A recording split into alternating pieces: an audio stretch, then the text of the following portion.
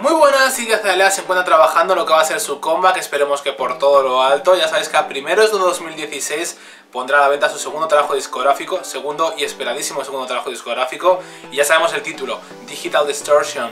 Además, esta misma semana va a participar en el Coca-Cola Music Experience y se al menos podemos intuir un poquillo que presentaría nueva música. Ella dijo que en octubre iba a llegar eh, el primer countdown single de este segundo trabajo discográfico, se llamaría Zillion, de esto ya hemos hablado aquí en Pop News. Yo eh, espero y presiento que probablemente lo estrene allí, allí en el Coca-Cola Music Experience, ¿no? Sería de agradecer que estrenase nueva música, no creo que cante ya los mismos éxitos que ya ha cantado durante todos estos años pasados. También ya se sabía que una de las canciones que presumiblemente sería el primer single, ya que el primer single vendría en solitario, presumiblemente sería Middleman, una de las canciones que también se ha confirmado de este segundo trabajo discográfico.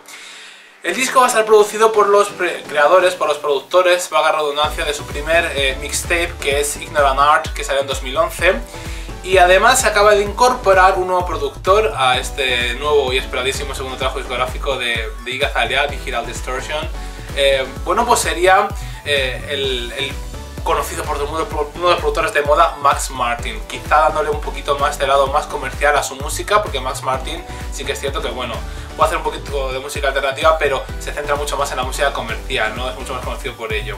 Veremos a ver cómo suena la nueva música de Igazalea, si decide decantarse por ese lado más alternativo y más fiel a lo school del hip hop, del rap, o por, por contra decide ser un poquito más comercial, así como su principal contrincante salió con su segundo trabajo discográfico, ¿no? con Starships, un poquito más comercial, sí teniendo esa vena de rapeo, pero mucho más comercial. Pero vamos a ver por qué opta Igazalea. Ya sé que para estar informado de lo que va surgiendo acerca de esta nueva era, te aconsejo que te suscribas aquí a Pop News. Aquí abajo te voy a dejar las últimas informaciones que se conocen acerca del segundo trabajo discográfico, por si te has perdido algo y estás interesado en conocer un poquito más, aquí abajo te dejaré los últimos vídeos que hemos hablado en Pop News.